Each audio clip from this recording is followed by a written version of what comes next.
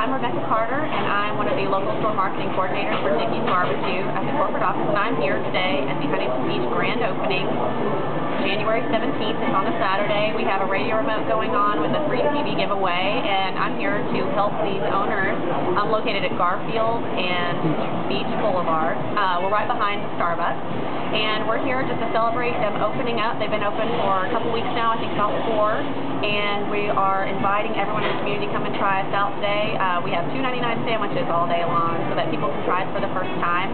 We have six great meats and eight sides, uh, some of which are, our meats are turkey, pulled pork, beef brisket. We have fall off the bone ribs uh, ready to go. Um, we have some sweet and we have some mild barbecue sauce. We actually have a Dickey's home style, it's our own recipe um, barbecue sauce that you should come out and try. And then some of our sides that are pretty cool are we have a Dickey's original potato salad, and then one of my favorite are the barbecue beans. You got to try because we put a little bit of our barbecue sauce in there for you.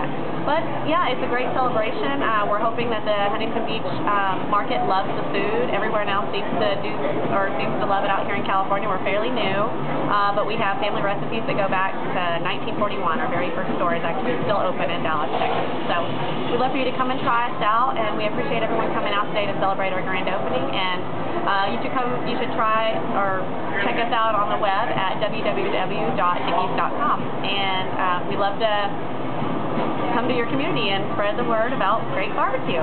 Thanks so much.